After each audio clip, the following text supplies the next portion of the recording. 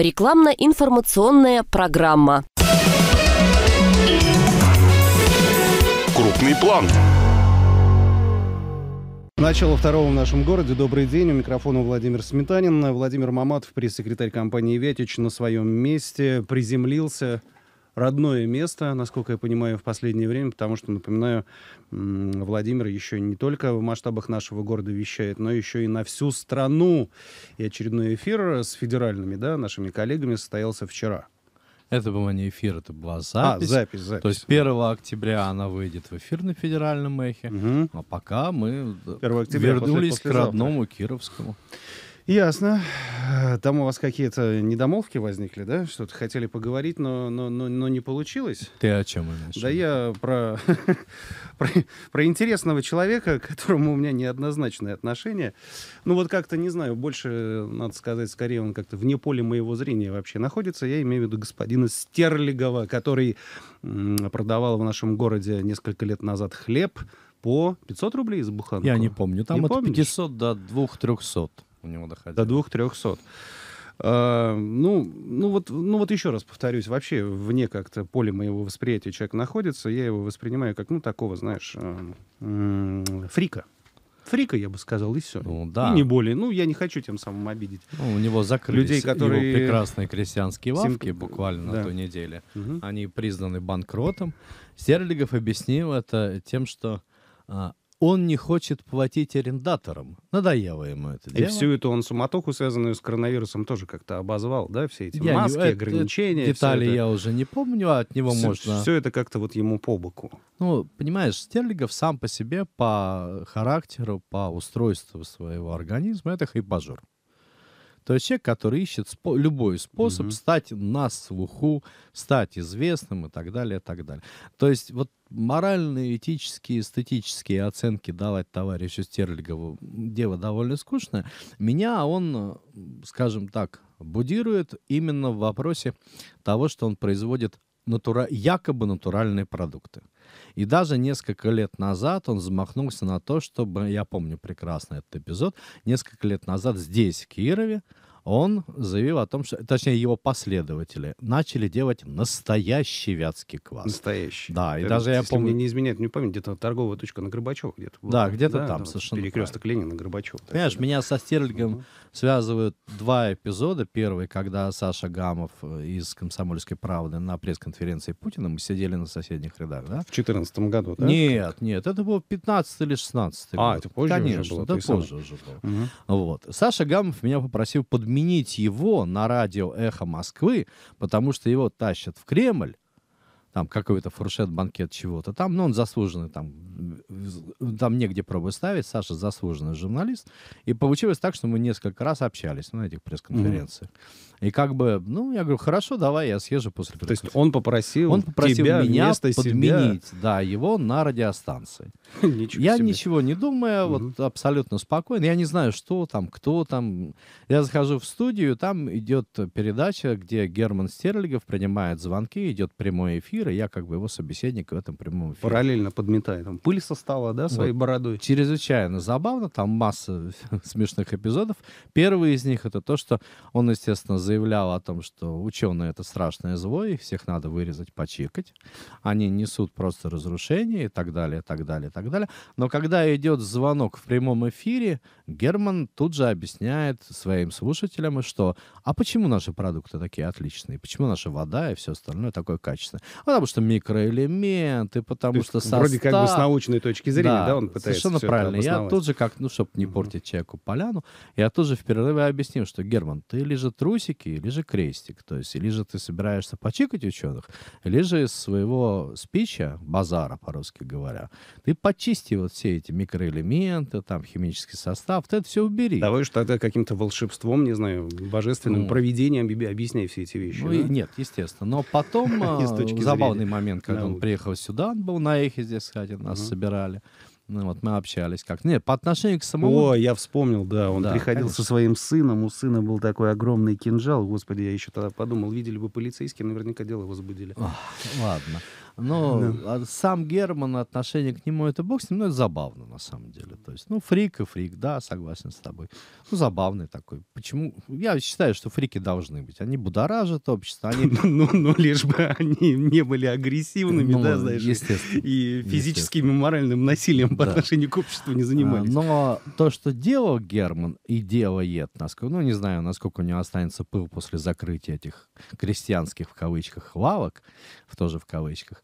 Дело в том, что он как сделал? Он начал продукты, которые производят вот эти специально обученные там православные девственницы в, в кристальных, ус- в, чи- в кристальных условиях, там, взятых с 19 века, да? Мгм. вот эти продукты начал продавать в три дорого. То есть он пытался, пытался внедрить в мозг потребителя, что если это качественно и если это сделано натурально, это дорого. Это очень дорого. То есть дорого до такой степени, я не представляю, то есть я себе представляю количество людей, которые в Москве могут покупать хлеб по 2-300, да? Их очень немного. Немного? Конечно. По сравнению, Даже в Москве? Ну, представь, ну, из 20 миллионов, 10, там, 12 официально, там еще миллионов 8 неофициально. Из 20 миллионов, если у тебя 100 тысяч наберется, это, ну, это невероятно, огромно, Нет, смотря где торговую цифра. точку поставить, если в в районе Госдумы где-нибудь, Володь, знаю. вопрос доходов, просто доходов. Ну, сколько у тебя человек в Госдуме? Ну, не смейся. Ну, 450. Ну, 450 и в, Конституции. в процентном отношении к населению города Москвы, то есть там вот такая крупинка соли, не знаю, в цистерне воды, понимаешь? То есть и Да маркетинг у него тоже хромал, надо Нет, признать. ну, на Продвижение продукции. Ну, что это такое? Раз это экологически чисто и сделано девственницами, надо за это платить дорого. Тьфу ты. Да, надо платить очень дорого. И тем самым он, во-первых, он свернул голову, мозги запарил, огромному количеству людей, которые начали, увидев его якобы успех, да, наивно поведясь вот на все это, они начали открывать вот эти крестьянские лавки и так далее, и так далее. У меня знакомые в Рязани, интересные ребята, фирма у них «Три крестьянина», я к ним как-то ездил, вот, они как раз прод- фермерскими продуктами торгуют. То есть там действительно производство, действительно кустарщина, ну, вполне адекватное качество, они пытаются развиваться, у них несколько, несколько магазинов они поставили. Толковые ребят. Так вот, они, увидев э, зрелище значит, успеха Германа, они это подхватили, и тут и начали меня засыпать вопросами, как я отношусь, вот что сделать, вот как, что можно еще тут предпринять. Причем на полном серьезе. Да, на полном серьезе. Я говорю, ребят, очнитесь, то есть это вас развели. Нет, ты не понимаешь, ты не понимаешь. Все, то есть это секта, это вот это бесполезный разговор абсолютно. То есть я не собираюсь, и не собирался, и не собираюсь, и не собираюсь собираться бороться с сектантским мировоззрением в принципе. Это неинтересно. Вот. И в итоге они только года через полтора очнулись и поняли, что, ну, Герман — это Герман, мы — это мы. Все. И он таким образом, во-первых, запарил мозг большому количеству людей по стране, во-вторых, он внедрил идею о том, что все натуральное должно быть дорого. Это чушь. То есть у меня простое совершенно убеждение, оно вытекает из моего знакомства как раз с продукцией Вятича, о том, что да, хорошее натуральное, оно должно стоить вот столько. Оно не может стоить бросовых денег. Вот этот классический пример, мы его приводили, еще имеет смысл его привести. Ты заходишь в любой маркет, да, в супермаркет, в гипермаркет, просто магазин у дома, и ты видишь питьевую воду. При стоимости там где-нибудь рублей 80 за литр, да, условно говоря. Ну, это мы Киров имеем в виду. Да, Не, ну, дороговато все-таки. Ну, Даже брать, если цены в какая- тех же, в тех же, Нет, ки- в тех же возьми- киосках известных, там 3 рубля за литр продается возьми как... Нет, ты имеешь в виду не бутилированную. А, ну, в в розлив имею в виду, Да, да. ну в розлив не надо смотреть. Мгм. Надо смотреть товары, которые сопоставимые стоят в магазине. Вот у тебя какая-нибудь Бонаква, да, А, ну это имеешь в виду Да, э, транснациональные конечно, бренды. Ну брендированные, да, она да. дороже, чем местные. Ну, во-первых, во-вторых, ты возьмешь какой-нибудь там спрайт, фанта, кока-кола, без разницы, что, вот из этой линейки. Полторашка в районе сотни. С газировки, Мгм. да. А, Дальше ты представляешь себе технологию изготовления. Ну, про воду это все понятно. Все, что там происходит, это очистка воды.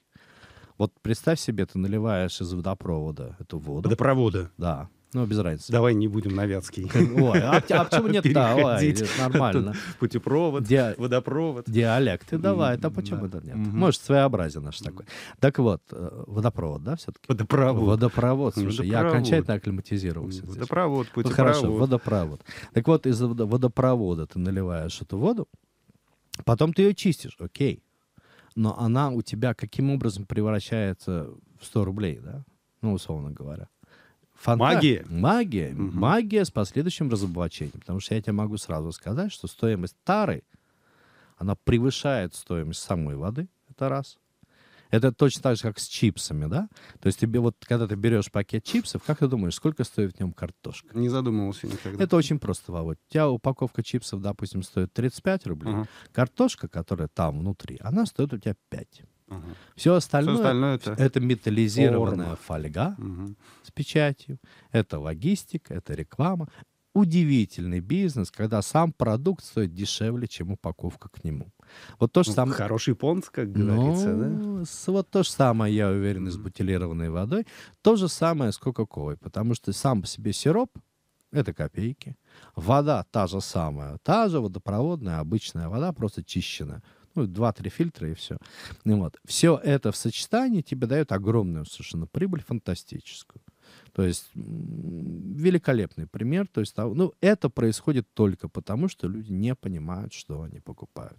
Вот э, возвратившись к Герману, э, ситуация. Настоящий качественный продукт, тот же квас, тоже пиво, конечно, безалкогольное, Мгм. оно не может стоить ниже определенной планки. Не может. Буквально месяц назад мне из Союза пивоваров они перекидывали инсайт на тему того, что транснациональные компании, там они проводили по, по концу года э, совещание, ну это у них январь-февраль где-то был, то есть они обсуждали предыдущий год. И там они с большим удовольствием, уд- э, удовлетворением, с большим пафосом рассуждали о том, как им удалось качественно и быстро завоевать российский рынок путем демпинга. Мгм. То есть вот эти... э, Я акц- с- немножко не понимаю, почему этим стоит гордиться. Ну, это прекрасно. честно Они говоря. занимают все большую и большую долю рынка. То есть спрос на их товар увеличивается. Хотя статистика... Не, но если судить с точки зрения бизнеса, с точки зрения реализации экономической стратегии, ну это да, Да. по- победа, чего уж Да, они отжимают методично и спокойно отжимают. Мгм. Вот в прошлом году, не- несмотря на то, что они рапортовали радостно, в прошлом году по статистике доля а, импортного, ну, только называемого в кавычках импортного, да, то есть ва- то- того, который варится по лицензиям пива, безалкогольного, мгм. разумеется, э, в бывшем Советском Союзе, она упала. Там немного, там 2, 3, 4 процента она упала. То есть люди начали делать выбор больше все, в сторону местных производителей. Это, с одной стороны, радует, но сам разрыв не впечатляет. То есть 3-4% по сравнению с общей тенденцией, которые ребята 10 или 15 предыдущих лет наращивали долю, а сейчас немножечко подвинулись. Ну, это... Вот, то есть э, не может качественная, хорошая вещь стоить дешево. Просто не может. У тебя, в отличие от воды и в отличие от газировки, у тебя нет варианта, что ты взял воду, очистил, или взял воду, разбавил ее с сиропом и, и газировал, да? У тебя минимум оборудования, минимум затраты, никакого температурного режима у тебя в принципе нет. Ну, вообще, в принципе, нет. То есть огромные расходы на сначала на нагрев, а потом на охлаждение у тебя исчезают. Длительность процесса, ну, это микроны по сравнению с, там, с 30 днями, когда у тебя готовится безалкогольное, разумеется, пиво, да. То есть все это не может стоить вода дороже, чем пиво безалкогольное или квас. Не может. Но на полке оно стоит. Вот такая интересная головоломка, которую всякий должен решить для себя на самом деле. А с Германом, вернувшись еще раз, то есть э, это был классический вот пример хайпажорства, да, и э, вот как раз буквально полчаса назад интересовались, могу ли я выступать на передаче, посвященной нашим брендам за рубежом. Ну, может быть, я и смогу, потому что у меня пара знакомых в Москве, там, которые возглавляют компании, то есть при Росконгрессе, которые занимаются как раз рекламой российских брендов э, за рубежом. Мгм. Но, насколько я понимаю, там все очень печально. Вот просто очень печально. То есть никакого реального, настоящего продвижения русских, ну, отечественных, да, будем говорить, товаров за рубежом у нас нет. Ну, подожди, тут рубеж-то рубежу ро- рознь, конечно. Если Ну, брать те же страны третьего мира и страны развитого капитализма, как принято говорить, это все-таки... Понимаешь, в чем дело? Вот мы С щас- нашими товарами, с товарами в том же Евросоюзе, Не, Володь, США, да мы, нафиг мы эксп- не нужны. смотри, мы экспо... Нет, это очень большое заблуждение. Мы экспортируем э, в Китай. Глобальная проблема в том, что мы экспортируем в Китай, это транссип, то есть доставка. Мы, ты имеешь в виду предприятие? Вятич, конечно. да. Мы, экспортируем, квас, да, да. мы экспортируем квас в Китай, все Мгм. правильно. Но у нас, у нас уходит туда слишком мало, то есть поставки маленькие по объему. Исключительно из-за того, что тариф существует на вывоз, Мгм. на транспортировку трансиба. Он высок, очень высок. Мгм. Длительность транспортировки очень высока. Мгм. И в итоге квас оказывается в два, а то и в два с половиной раза дороже, чем он должен быть на китайском прилавке. А в Китае с ними конкурируют заводы Кока-Колы. Тот же самый построенный там уже не один год, который прекрасно работает по китайскому рынку. Анекдот. Вот смотри, китайцы нашу пищевку готовы оторвать с руками. По одной простой причине. Имидж э, наших товаров в Китае, он э, чрезвычайно высоко положительный. То есть они считаются экологически чистыми, Мгм. натуральными и так далее. и так далее. Ну, учитывая, что у китайцев ситуация с экологией швах, то их реакция понятна. Ну, так исторически повелось, Да. видимо, да? Но при этом мы вынуждены по ценнику конкурировать с американцами, которые уже стоят там в виде заводов. Опа!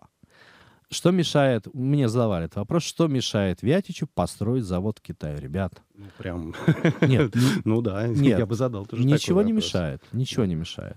То есть у нас э, в стране были была проблема раньше дураки и дороги 2D. Сейчас у нас 3D, то есть длинные, долгие деньги.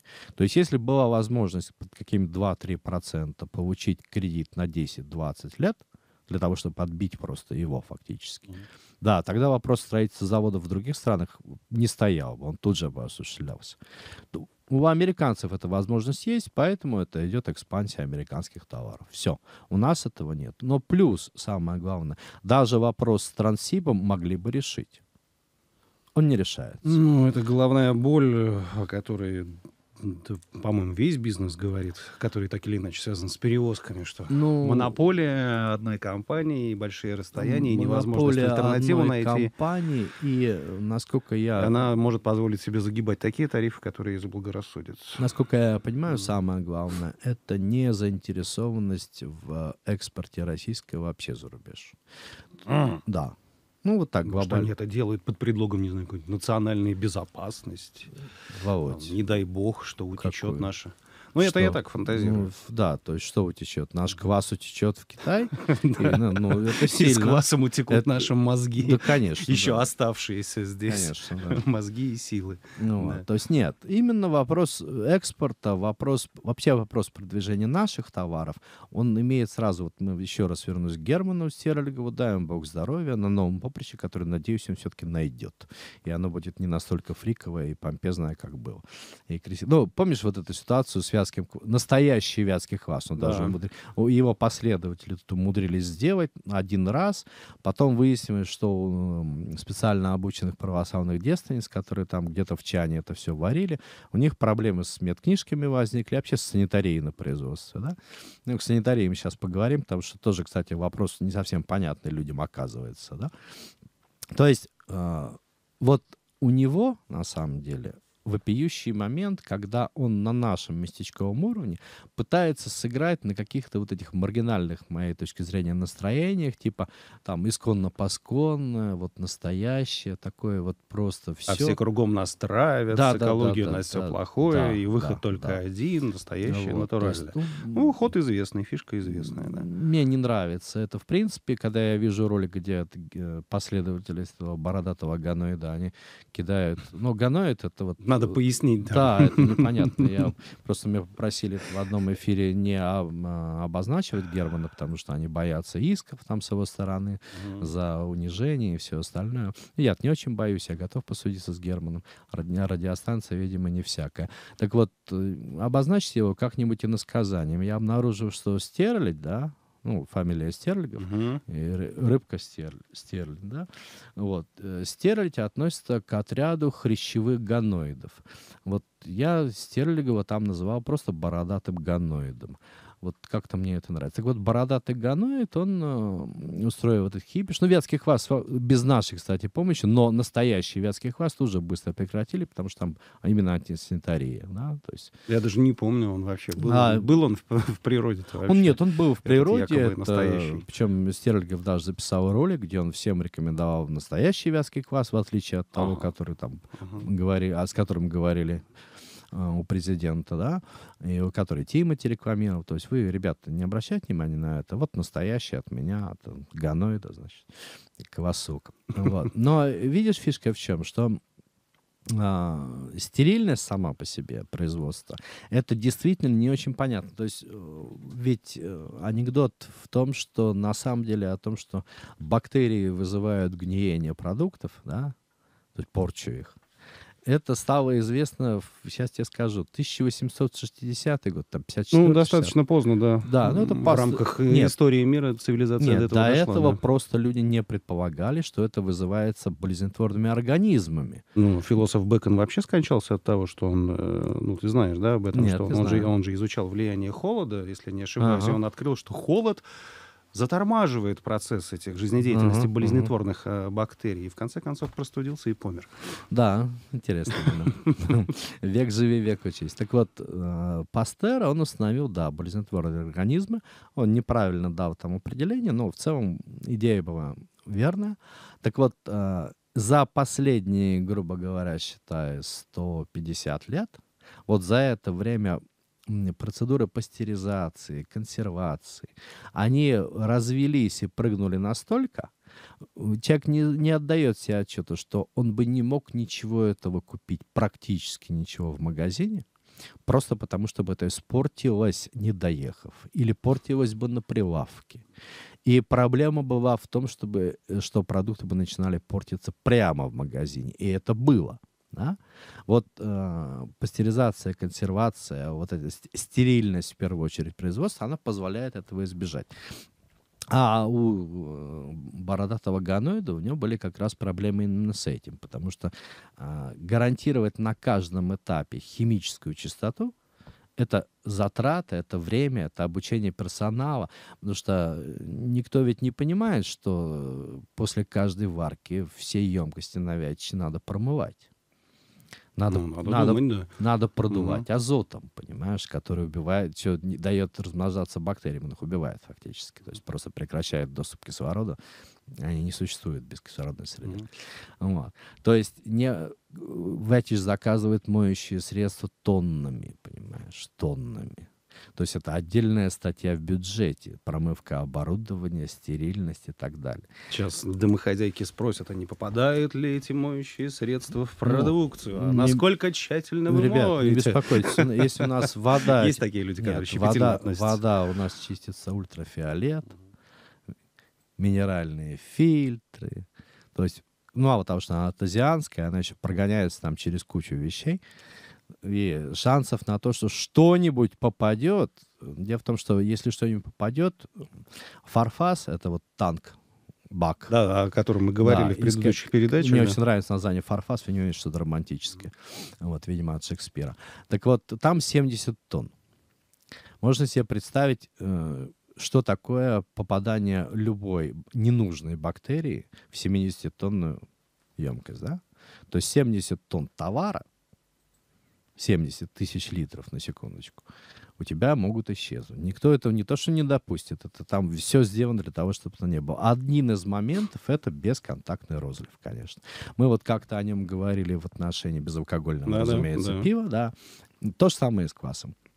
То есть там надо смотреть. Вот я все-таки, мне, кстати, на «Эхо Москвы» на федеральном предложили вести э, как бы скайп и посредственно из цеха. Я вот подумаю, можно ли там это сделать, да. Интересная мысль. Да, интересная, да. потому что понятно, что в грохоте этих самых упаковочных, разливочных лений этого не сделать. То есть звука не будет. Угу.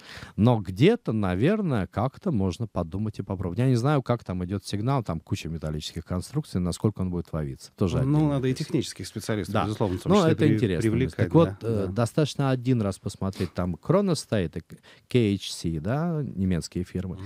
Вот на самом деле упаковочная, разлив, разливочная, точнее, линия, она производит впечатление, вот это как роботы, знаешь, из этих фантастических фильмов, там множество щупалец, которые одновременно mm. летят, да. Mm-hmm.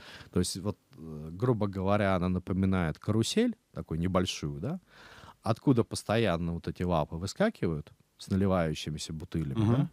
То есть из маленькой пластиковой э, формы. Заготовки. Выду... Да, заготовки. Гильза, по-моему, ее называют. Я не помню, как называется. Да. Она выдувается полтора, туда опускается трубка, все это в атмосфере азота, потому что азот по-прежнему закачивается, и бесконтактно наливается по этой трубке в саму бутылку. Все это происходит со, со страшной скоростью совершенно. Все это также быстро упаковывается. И фишка в том, что там нет людей. То есть у тебя сам продукт не контачит ни с людьми и не контачит с воздухом. То есть, ну, понятно из-за этого, что именно из-за стерильности мы можем гарантировать, что он так долго будет храниться. У нас время рекламы подошло, прям середина часа как-то незаметно наступила. Хорошо, идем. Владимир Маматов, пресс-секретарь компании «Ветч». Я хочу еще напомнить, что наш разговор с Владимиром носит реклам- рекламно-информационный характер, конечно же. И, кстати, номер нашего прямого эфира 211-101. Если у вас вдруг возникнет вопрос, соображение, пожалуйста, позвоните и поделитесь. Это, еще раз повторюсь, прямой эфир. Мы с вами пообщаемся. Ну, а теперь реклама. Крупный план. Так, поехали дальше. 12 минут у нас остается на, на общение с Владимиром Маматовым, пресс-секретарем компании «Ветич», 211-101, номер нашего прямого эфира. Вспоминаю я все э, звонки в предыдущих передачах, которые были. И вот большинство из них так или иначе связаны с местами продажи да, продукции «Вятич». И многие звонят mm-hmm. и прям жалуются. Ну, не могут найти. Вот удобно человеку зайти в магазин, который поблизости да, находится от дома. Ну, ну, ну понятно, да, человеку хочется комфорта. Он не собирается весь город оббегать для того, чтобы найти любимый безалкогольный напиток. Ну, вот. Ну, вот такая тема. Ну, с торговыми сетями да. это просто прекрасно, потому что это самая благодатная история, которую можно каждый раз ну, уничижительно, издевательски, методично и спокойно описывать вот эту ситуацию. И она не двигается никуда. Ситуация, мы говорили об этом не раз, в том, что торговым сетям, в принципе, они клали на эту Кировскую область, на этих производителей, на все эти условия. В свое время Никита Юрьевич завел эти сети сюда. А, но завел он их очень интересно. То есть, с одной стороны, это, конечно, плюс, потому что понятно, что торговля оживилась. Это естественно. Конкуренция. Да. Конкуренция, да. Мы же конкуренции стремились, да? Но дело в том, что в моем Человек понимании конкуренция, конкуренция для любого бизнеса это хорошо. То есть если она э, добросовестная, скажем ну, так. безусловно, да. если по правилам играют, да, mm. без каких-то там штучек, да, и э, по подставления подножек друг другу. Да, я вижу, у нас есть звонок. Ну, давай. давай его примем. Давай, Добрый хорошо. день, вы в прямом эфире, как вас зовут? А, здравствуйте, Владимир Николаевич. Да, слуш... вопрос... слушаем вас. Да, вот э, когда э, пиво делают, так, значит, обычное, там образуются не только спирты, но и сивушные масла. Ну, это известные вещи. Так? А, жизнедеятельность дрожжей. А когда пиво безалкогольное делают, как удается избежать образования сивушных масел? Спасибо. Начать. А вот э, как удается избежать сивушные масла? Спасибо, вопрос ваш понятен. А в, одном, в одной из предыдущих передач э, ты, Владимир, рассказывал, ведь, да, как эта побочка вся нейтрализуется. Mm. И как раз сравнение да, делал с, продукцией транснациональных корпораций, да. где все это просто разбодяжено, и они вообще не обращают ну, на это они внимания чистят, никакого. но это формальность, косметика. Я объясню сейчас. А, дело в том, что при холодном брожении, да, то есть когда у тебя температура порядка, там, сколько у нас там, 6 градусов первые 9 дней, потом 21 день идет 4 градуса градуса. То есть и на брожении, и на дображивании у тебя сивушные все, они, во-первых, не э, вырабатываются, потому что ты сразу, когда охлаждаешь сусва, ты охлаждаешь, грубо говоря, там с 98 до 6, причем mm-hmm. очень быстро. А, ты прекра... И э, вот э, нюанс в чем? То есть, когда начинается брожение, да, и есть доступ кислорода, то есть дрожжи размножаются активно. Потом, когда они размножились, они вырабатывают углекислый газ. Углекислый газ тормозит как раз то есть он останавливает это все, дрожжи не размножаются, и идет вот это бескислородное брожение, не помню, как оно правильно называется, и при низкой температуре у тебя сивушные масла, вот эти примеси, они, я, есть название очень, какое-то название емкое, обозначающее основной. Специфическое, да, химическое название. правильно, я забыл его, если честно, угу. соединение, которое как раз является основной причиной вот этой неприятности с сивухой, да, оно при холодном брожении, оно осаждается, и когда ты переливаешь на дображивание, ты уже сбрасываешь его часть, да, то есть отфильтровываешь. На дображивании 21 день. У тебя то же самое, оно образуется, но когда у тебя идет, наконец, ледяная фильтрация, у тебя осаждается все абсолютно. То есть вот эти сивуха, эти высшие спирты, так называемые, во-первых, их мерят на каждом этапе. То есть в Вятиче ни в одном из продуктов, ни при каких обстоятельствах ничего похожего вы не найдете. То есть его там нет. Я специально, не, потому что я слышал э, несколько раз о том, что «Ой, разболелась голова после вашего-то Вятича». Я специально бегал к технологам и спрашиваю, ребят, возможно? Говорит, нет, невозможно. Это полная чушь. То есть просто полная чушь именно из-за того, что высших спиртов там практически быть не В общем, может. подытожим, простым языком выражаясь, не надо себе представлять это вот э, как будто вот это огромный чан и снизу газовая горелка. Нет, и нет. все это при высокой температуре. Принципиальное различие, еще раз повторим, что все это в холоде делается. Да, Плюс то есть 6 всего если лишь. ты делаешь дома там на конфорке это греешь и бродит у тебя там на балконе, ну, неминуемо. Это просто неминуемо, у тебя сивуха будет переть. Если ты делаешь это правильно, ну, ребят, ну, собственно говоря, немцы столетиями это делали, они навострились, они прекрасно, все прекрасно выяснено, откуда, почему, как и в каком количестве берется. Нет, к Вятичу это, в принципе, неприменимо. Ладно, вернемся. То есть, ну, смотри, ага. то есть для того, чтобы понимать, надо знать, знать холодное брожение и ледяная фильтрация. Вот эти две вещи, они отсекают возможность перемесей. Возвращаемся к взаимоотношениям с торговыми сетями. Вспоминается мне еще история, да, как, по пятерочка, да, ты говорил, предлагала, вот вам местечко, вот ценник такой же, ой, потом извините, ценник другой, Нет, это... что-то третье, четвертое и так далее. Это был магнит, а, магнит. и это были холодильники, которые мы все-таки возьмем. Так, да. вот, хотел возьмем, узнать, как возьмем в каком да. плане? Мы, ну, сейчас переговоры пойдут, мы не получим прибыли, то есть э, ту прибыль, которую мы получим от внедрения холодильников, мы стратим на аренду холодильников. Угу. То есть как бы шива на мыло, нас кинут трусы. Не, с коммерческой точки зрения неинтересно. Но с той точки зрения, что мы дадим потребителю возможность покупать продукцию Вятича, а не кого-то еще в магнитах, это плюс, это мы сделаем. То есть вот это тот результат, да. тот результат, за исключением прибыли, которым, а которому мы вы подож... Мы подождем. С прибылью uh-huh. мы подождем. Uh-huh. И э, самое главное, ну да, магнит, там несколько кулебитов у них было. Они сначала просили там полторы или две тысячи. Я вообще в восторге полном побежал тут же подписывать все это. Мы соглашались. Потом выяснилось, ой, это было за неделю то есть 8, ну ладно, хорошо. А еще на следующий день они писали, что... Не, ребят, это вот 8 за это, а не совсем за то, что мы думали, а получается вот так. Давайте 24. 24 так 24. Мы поторгуемся, конечно, я думаю, что все равно там цена запредельная. Все магазины «Магнит» попадут в этот Да, я думаю, да. Я, я, наде... я надеюсь, что да. да.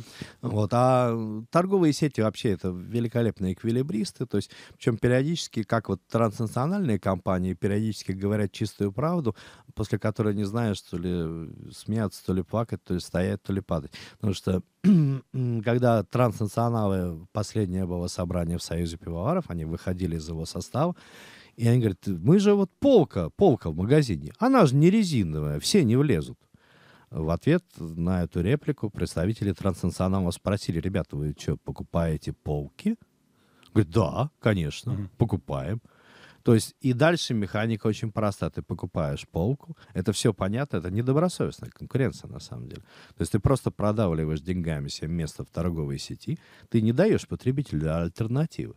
Ты Но, став... с другой стороны, нет никаких законных рамок для того, чтобы вот, вот ну, столько, столько-то процентов полки должно на одного ну... производителя быть, да? Нет ведь у нас нет, таких у нас закон, законов нету да. таких.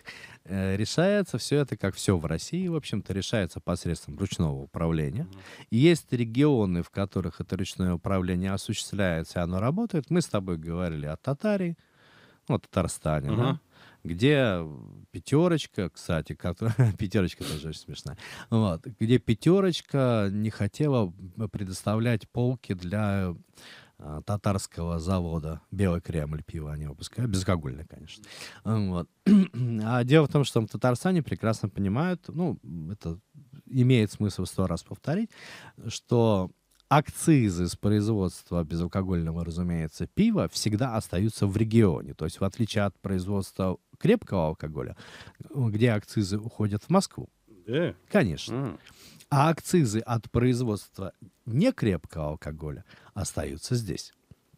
Так вот, Вятич в прошлом году, по-моему, 543 миллиона перечислил в местный бюджет. Мгм. Акцизов только, это не считая налогов. Вот, а, в Татарстане это прекрасно понимают и попросили, чтобы пятерочка в своих 600, 650-х, по-моему, было тогда по Татарстану, чтобы пятерочка в своих магазинах 50% полочек предоставила под продукцию Белого Кремля. Пятерочка возмутилась этим отвратительным давлением практически, незаконным, в общем-то. У нас в законе не прописано, что я обязан вот это и вот это.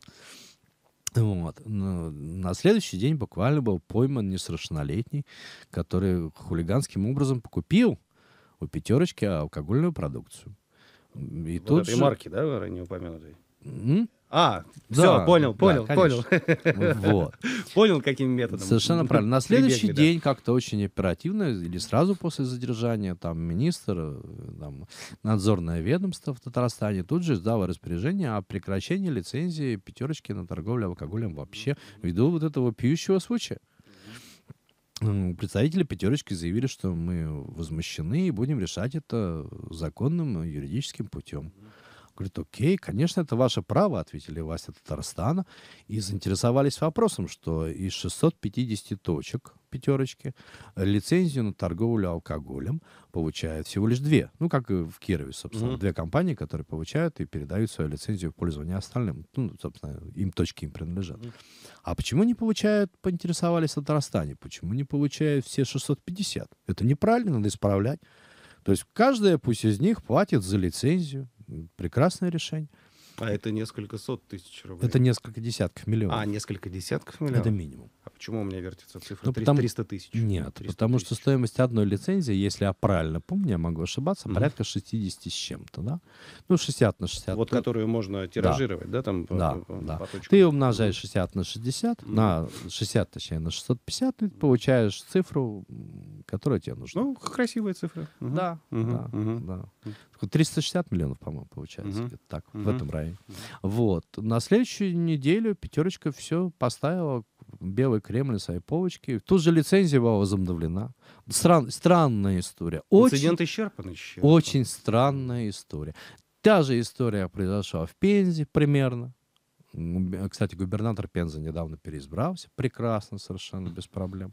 Та же история произошла недавно в Ижевске, но уже с красным и белым. Тоже какое-то время, по-моему, 4 месяца они посидели без лицензии на торговлю алкоголем. И потом глазовская водка встала на полке красного и белого. Все замечательно. Дело в том, что, к сожалению, вот это меня не очень радует. 20 секунд у нас. Но, но, к сожалению, другого способа работы с торговыми сетями не существует в России, кроме вот этого прямого ручного управления со стороны властей региона. И э, буквально вчера во время онлайн-конференции представители «пятерочки» так и заявили, нам не нужны новые товары, вы с новыми товарами не ходите в «пятерочку». Это не то место, где какие бы то ни было новинки могут появиться. Вот вопрос, удастся ли нам сломать это все? Удастся ли нам как-то завоевать продукции Вятича реально региональные рынки? Вопрос интересный. Ну, в нашем случае, можно сказать, знаешь, по принципу вода камень точит. Вот без, Я думаю, безалкогольная камень точит. Безалкогольное будет точить. Точила, точит и будет точит, точить. Да, и будет точить. Владимир Маматов, пресс-секретарь компании «Веч». На этом завершается наша сегодняшняя беседа. До вторника следующего прощаемся.